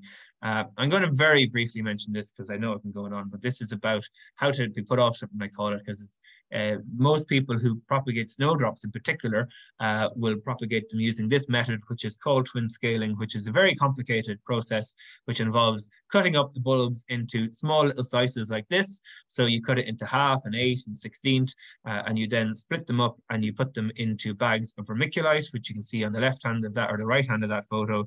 And then you grow them on and on the right hand there is what happens. The bulb comes through. It's a very complex, uh, you need to do it in a sterile environment. You have to be careful with when you do it. You have to do it in the dormant season.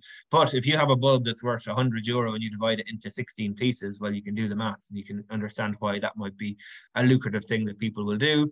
And what happens is you grow these little tiny chips, which is if you ever grow snowdrops from seed, this is what you'll get. You won't get snowdrops flowers for at least two or three years if you grow them from seed. And the same with these. For the first years after you do this, you'll only get small little tiny things, which will then turn into bigger plants. And this was Tom's collection. He was, uh, as you can see, an obsessive galanthophile. He grew all of his in aquatic pots, which lots of people do to stop them contaminating. And we had them then coming up in the springtime with all their varieties, and they did uh, quite well. But this was all the little bits we had divided out. So basically, we spent the whole summer filling these polytunnels with all these thousands and I think we did 50,000 chips in a summer. But it's one way of propagating them, but it's also one way of falling fully out of love with snowdrops. But thankfully, now that I'm working back in Bellefield, um, I've seen the light again and realized that snowdrops are well worth growing and are a beautiful plant. Just as a thing, people ask this all the time. What do you use as your potting mix? Uh, I can honestly say that it varies a lot. It all varies with what's on hand, but this is what I try to do as much as I possibly can. So about a quarter loam. Um, John Innes compost is often very good. You can buy loam if you've got a source of it, great. Uh, grit or sand about a quarter for bulbs. Uh, bulbs like good drainage, so better drainage the, or more drainage the better. Peat-free multi-purpose compost, uh, which we've got at the moment from Fruit Hill Farm here and farm manure or garden compost, which we've got lots of at the moment, thankfully. Um, and instead of loam, uh, sometimes here I use leaf mold because we've loads of leaf mold and uh, it has a similar effect. It holds onto moisture and it is very good. And again, we have it. Often it's what you ever have to hand you need to make these mixes up with. That varies, but generally speaking, about a quarter, quarter, quarter of all those different things combined, you get a lovely free draining uh, bulb mix that bulbs will love. And this is just, we're gonna, I'm gonna end up, I promise in a minute or two, got a few more. This is just at the front of Bellefield, uh, the meadow. Um, when Angela passed away, I came back to the garden a few days after she died, and this was a site that greeted me, which I always will remember um, whenever Angela's anniversary is, which is in May. Uh, the meadow at the front of Bellefield with the tulip. I think red shine is what she had in it, along with a few others. It varied over the years, but I always thought red tulips in a green meadow like that with very little else uh, was always a stunning thing. And uh, the fact that it was the, pretty much the first thing I saw when I got out of the car, uh, having returned to Bellefield, having heard the news about Angela, it was one of those things that kind of uh, struck me, and I always will remember. And just to uh, give you a little bit here about Bellefield, um, this is Bellefield of old. Um, this photograph was taken in about 1926. Um, and Bellefield used to be a hunting lodge, and it was also a place where uh, obviously they had the hunt, and it was uh, a stud farm, I should say, for an awful long time. And it had the hunt here every single uh, winter time. And in the photograph there at the front, you'll see along the front row there are a few children.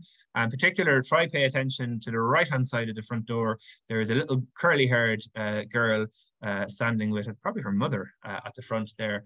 And just keep an eye on that because uh, that little girl here is also in this photograph that was taken in 2023. Um, she's in the red on the right hand side, still at the right hand side of the door. Uh, and that's our neighbor, Mrs. Mabel Wallace, who last year uh, celebrated her 100th birthday and she's in her 101st year now. She still drives.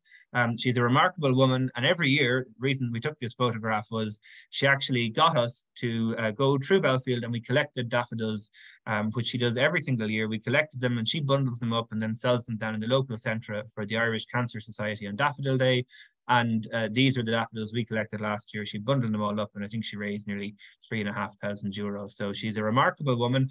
Um, she's uh, one of our uh, closest neighbours here and a great friend to Bellefield, and was also a great friend of Angela's. So we're very lucky to have uh, that, you know, the continuity here in Bellefield and people who have known the house for uh, as long as Mabel, which in her case, she's known the house for 95 plus years. Um, so it's quite remarkable, and we're delighted every time she comes to visit us here. And this is just Bellefield um, here at the front, uh, the meadow, which uh, I showed you with the tulips there with the haycocks. And this is a little bit of what we're doing. We're doing uh, some strange and different things, which include checkerboard lawns and uh, bulb lawns. Uh, as I said, I don't like cutting grass. So if I can get away with it any way possible, this is just to give you a little other things you can do in your garden. And final two things I want to show. Uh, you might think it's hard to grow snowdrops. Um, not always is the case. snowdrops tend to want to survive. Most plants want to survive. Dried snowdrops are useless. Um, if you're ever buying snowdrops in the autumn time from a source where they're drying up in bags, don't buy them. They do not do well as dried bulbs. They hate being dried out. Unlike daffodils, which can get dried out fully, snowdrops basically will die if they're drying out as much as you will do there. So instead of putting your snowdrops and letting them dry out, uh, buy them in the green. And this is what I did. I dug them up here. I left them in a pot when I was doing a project years ago. I washed all the soil off of them. So that's just pure bulbs sitting in a damp pot in the humidity of the Irish climate. And up they grew without any soil, without anything at all flowering away in a pot. So you don't always have to give them the best of conditions for them to flower and grow. So if you get the right snowdrop bulbs, the right stock, they will grow regardless, but just never buy dried snowdrop bulbs because they just will not grow. Buy them in the green, buy them um, or get them from a friend. Uh, don't go buying dried snowdrops. Yeah, that's one guaranteed way of not seeing many snowdrops next year. And just when it comes to pests and disease, you've always got to be careful with these things. If you see bulbs that are like this anyway damaged, if they have fungus on them, um, tulips have got awful problems the last couple of years with viruses. Um, snowdrops and daffs can often carry things if they're anyway soft. Just discard the bulb and ideally burn them or put them in the landfill, bin them. Don't have them hanging around. You don't want to spread diseases. So we plant thousands of bulbs here every year. And if there's anything that looks anyway dodgy, I've now just got to the point where they just get binned straight away. There's no hanging around. Uh, it's just not worth it when you're planting as many uh, and you want your garden to be looking brilliant. Uh, so that's it. Thank you all for listening. Sorry for going on for so long uh, but I'm happy to answer any questions that anybody has about anything that we mentioned tonight. Thank you, Paul. A, a tour de force, um, content, packed with content, packed with beautiful images, um, loads, loads there. I'm going to run through the comments. Um, it's just a celebration of Bellefield, of snowdrops, of Angela, of springtime. It's fantastic. Now, Claire McNally helped you with the the source of the of the the snowdrop being the Crimea. Where do you yes. buy bulbs? Anne would like to know. Where, what? Give us some sources. Now you have mentioned uh, Esker Farm. Anybody else? Yeah, I've mentioned Esker. Um, Altamont plants in County Carlow are great. Uh, Gort Kelly Nursery, which I think Claire now calls herself Coldblow Nursery here in Shinrone, um, has a good few Field of Blooms. He's on line. Gee has some in Ireland um, lots of suppliers. The Snowdrop Gala, they will have various people there. Um, where else can you buy them? Uh, Beech Hill Bulbs in County Offaly, Tullamore. Uh, they're a great one for large quantities of things. Uh, you can get them again from online. I try to, you know, support Irish ones where possible, but as I said, I mentioned Farmer Gracy and I mentioned Peter Nyssen is another great supplier of more of the harder to source ones, slightly more expensive. There's no denying that. You might pay a bit more, but you'll get some of those more difficult to source. And I mentioned Fluwel as well in the Netherlands. So there's a few good sources out there. Um, but I, to be honest, every year I buy them from all of those sources. I never just go to one supplier. I will always go to pretty much every single one of those suppliers and buy an amount, some more than others. But yeah, spread out and uh, go from different suppliers. You'll always get a good variation. Thank you. Brilliant. What can you do when tete-a-tete are eaten by bulb fly? They just rotted. That is that is a problem. Uh, the Narcissus bulb fly will always attack, will also attack daffodils, not daffodils, snowdrops. Sorry, um, I'm I'm muddling up my bulbs, but it will attack uh, the snowdrops and the daffodils. It looks awful like a wasp. Um, so people will often mistake it for a wasp, but it's very early out, so it isn't. Um, unfortunately, it's a bit of a pest. Uh, all you can do is, if you're not trying to use chemicals, which we're not, and if you have particularly valuable bulbs, the best advice is as soon as the foliage begins to die away, try and mulch over it to stop the actual grub burying down into it because the grub, uh, I think the larvae of the narcissus bulb um, caterpillar, narcissus bulb fly, I should say, uh, grubs down. So as soon as the foliage dies, what happens is, you think about it, if you have a pencil in the ground, and you pull up the pencil, there's a lovely hole, and uh, where that stem of the daffodil has died, there's a lovely track down right into the middle of the bulb for the daffodil. So if you put a little bit of mulch or something over your more precious ones, it tends to help them. Um, and you need to do that as soon as the foliage goes to offer them. And also let the foliage die down naturally. Don't tie them up. Don't do anything silly like that. Let it happen naturally and then mulch over them is the best thing to do. Thank you very much. Mary is saying, wonderful talk, has resurrected her enthusiasm. Can't wait for this awful weather to go so I can get out there again. Hanukkah, you, Paul. Excellent. Uh, Ashwood Nurseries is being recommended as well, John Massey. Yeah, uh, that's the one I couldn't think Very of. good point. Paul, what snowdrops varieties are you using in the grass to naturalize? This could be a long answer. Yeah, maybe. Do you want to rethink that? Um, we're using all of them.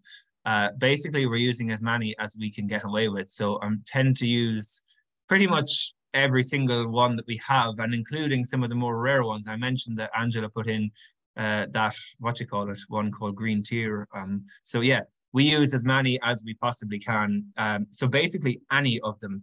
Uh, the best ones, of course, are the most vigorous. So the like of the uh, just Galanthus nivalis, Galanthus elwesii, plicatus, but any of them at all. If they're growing well in your garden, you already know that it's a good plant. So what we tend to do is the ones that are growing in the garden, we'll dig them up and we'll put them in the lawn because we know they do well. Um, and if they're weaker, we don't tend to move them into the lawn because we know they need a bit more mollycoddling. So yeah, whatever grows well in your garden, I would go for rather than try and get ones that you're not sure about. You have to make sure they grow in your own garden before you can try them in the lawn because the lawn is a bit more challenging for most of them.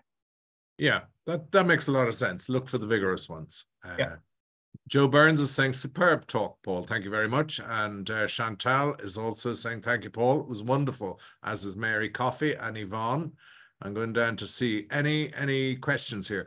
Fabulous photos, inspiring talk. Thank you, Paul. Regarding the tulips planted in the lawn, do you dig them up each year? Nope, absolutely not. Um, life's too short to go digging up your tulips all the time. Um, what we do is pick the again try if you've got a few that are growing uh, try to get the species varieties. So uh, there's a few particularly good species. I mentioned the peppermint stick. Um, there's a couple of them that do very well here.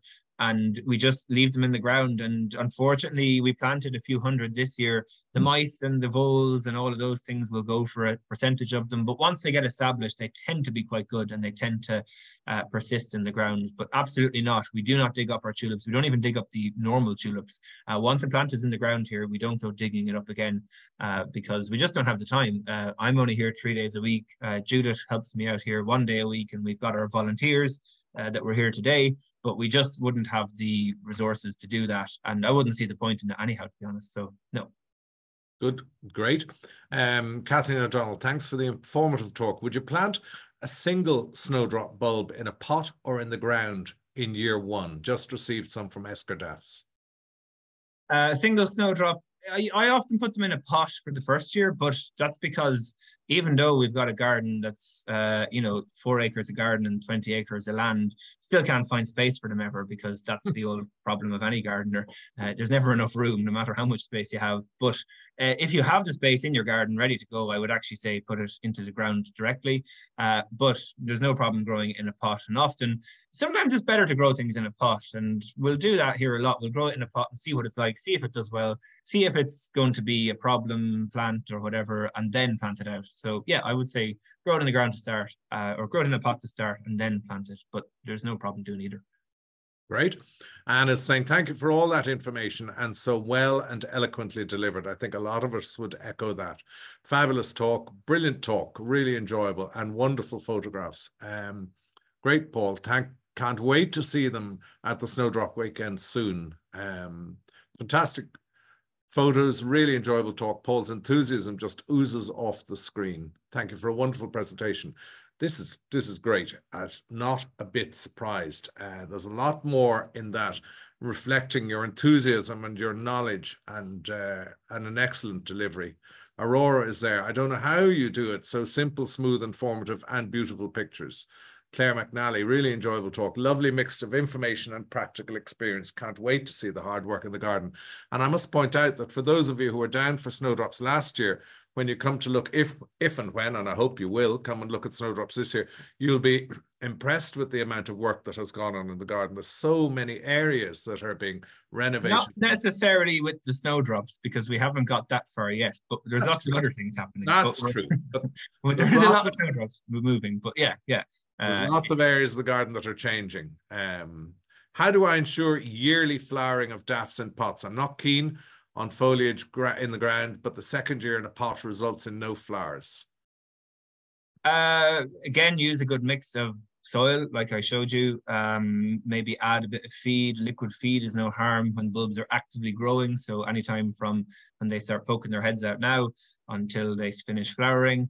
Um, maybe don't put as many in the pot if you wanted to flower. I also um, make sure you get decent quality bulbs. Um, and I know that might seem obvious, but uh, when you go to the German discount supermarkets, I'm not going to mention any names, uh, you can often get bulbs in there that are awfully cheap. But the reason they're awfully cheap is because they're generally the poorer grade, the smaller size. And when you're buying bulbs, um, I know from buying them off the suppliers in Holland, uh, you can often buy the smaller or the bigger one of them. And the bigger the bulb, the more likely it is to flower. And that implies no matter to any of them. So get bigger bulbs, uh, give them a good mix, give them a feed.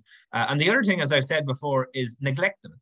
So once they finish flowering, shove them into the back of the garage or shove them into the side of the shed where they don't get a whole lot of water under the eaves of your house, round the back where nobody cares, and just leave them there and forget about them until next October or November. And that's exactly what we've done here. I've done it for the last couple of years. I've said that about the Mary Poppins one, and it seems to come back fine. You know, uh, they what they love is a dryness in the summer, and that's what you do when you neglect the pot in the summertime of bulbs. They could dry up nearly fully, and that's exactly how they uh, would grow if they're growing in the wild um, and if they're growing in fields in Holland and Belgium. Uh, we have very damp, dreary summers here in these countries, so uh, you're better to try replicate that. So, yep, that's what I would do. Excellent. Mimi has a great question. What are you most excited about for the coming season at Bellefield, Paul? Ooh. Ooh. Um, While you're thinking about that, then, could you Yeah. clarify the issue of dry bulbs, please? uh, dry snowdrops. I don't mean dry bulbs in generally. So I'm only saying that in relation to snowdrops. Dried bulbs generally are fantastic. Dried daffodils, we've been doing it for hundreds of years. It works beautifully. Uh, you can dry out every single species of bulb pretty much, with the exception of snowdrops. Uh, when you buy a hundred snowdrops that are in a dried packet, um, if you get them early in the season, you might get half of them to grow. Um, if you get them later in the season when they've been in a centrally heated shop, when they've been in a container moving from the Netherlands over to Ireland, over to wherever, uh, they'll have already desiccated out. They'll have taken all the moisture. They're in an open bag. Uh, they hate drying out, basically, uh, and drying out to that extent. Obviously, in the ground in the summertime, they're fine, but because they're earlier, they're probably into active growth much earlier than the daffodils. So they're probably should be growing rather than moving around in dried containers at that time of the year. So it's only snowdrops. And that's why I would say buy your snowdrops, what we call in the green, which is like that clump I showed you that we dug up and split out. Uh, it's far better to do that than anything else. So don't buy dried snowdrops, but dried every other bulb, absolutely fine. Last question. Trish Farrell, what time of year would you repot daffs or snowdrops? Um, well, whenever, I guess the best time would be autumn. Uh, if they're in pots, at least you know. Uh, although if they're in the ground and you want to move them up, the best time to do them is when they're in active growth. So anytime there's foliage on them. Uh, the best time though, I suppose, would be autumn if they're in pots. Uh, take them out, divide them out, and you'll get all the little offshoots of the bulbs too. So you can do whatever you want with them. You can bin them or you can add them to the pot. Uh, yeah, that's probably the best thing to do uh, with them. And yeah, autumn, anytime from autumn on, when they start to grow. Uh, we, I tend to, instead of repotting, try not to need to repot here. I tend to top dress some of the bulb pots if they're in here for year two and year three, because you get weeds on the top over the summer, naturally would blow in. Uh, so I'll redress the top layer of it. I did that here and I still have to do a few bulb uh, pots to be perfectly honest. So I'm still in the process of repotting them, you could say. Um, and what my favorite thing about here for next year, uh, I suppose it changes. Um, I'm looking forward to, we've put a new woodland path through the north border, so I'm looking forward to getting that fully planted up.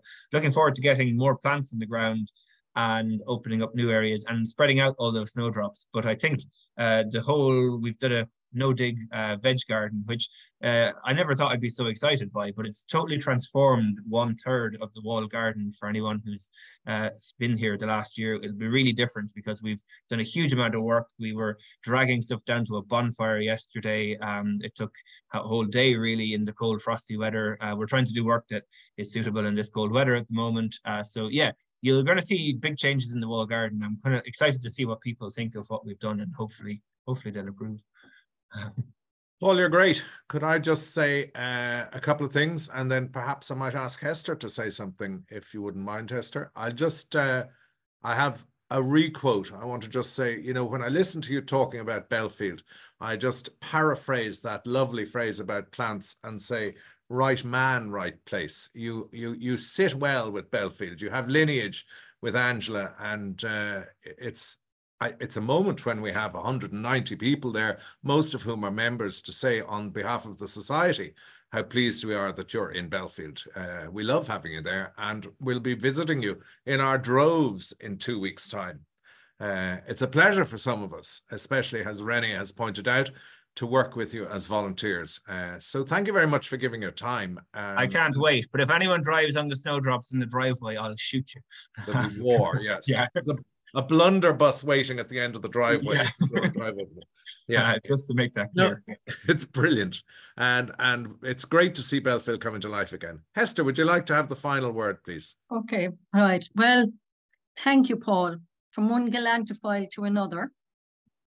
Um, something we might hear on Dancing with the Stars, for those of you are that for, are familiar with that TV series. Um, we were dancing with snowdrops tonight, and that was just gallant gorgeous. Paul, you have taught us so much about the snowdrop, from the different species, easy to grow cultivars, and of course, some very select forms. Great encouragement given to people who are beginners and just looking forward to a new life with snowdrops, and plenty of caviar in there also for the connoisseurs. We had a whirlwind tour of spring bulbs from Cyclamen and coum to Narcissus bulbicodiums, which I'm afraid I fail with. I just get plenty of leaves, no flower, no matter what I do. Uh, it was wonderful to see Narcissus Cedric Morris, which I've had for many years, but I agree totally. It's iffy and can dwindle very easily. Most of all, it was a fabulous pleasure to visit Bellefield. And this talk took us to bulbs en masse and how wonderful it is to see them in their naturalized situations.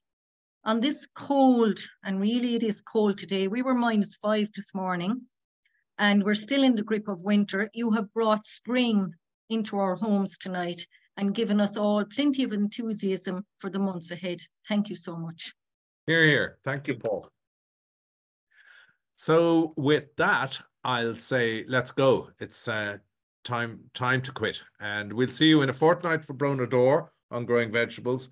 I hope we'll see many of you either in Ballon in Carlow, that's Ballon near Altamont, and we'll see loads and loads of you in uh, Bellefield between the 8th and the 11th um, with a warm welcome and a cup of coffee. Uh, it would be lovely to see loads of you. So come on down and we look forward to some spring gardening. So that's enough. Thank you very much indeed. See you all soon. Thank you. Thank you, you. everyone. Good night. Thank you. You, brilliant. Thank you. Thank you.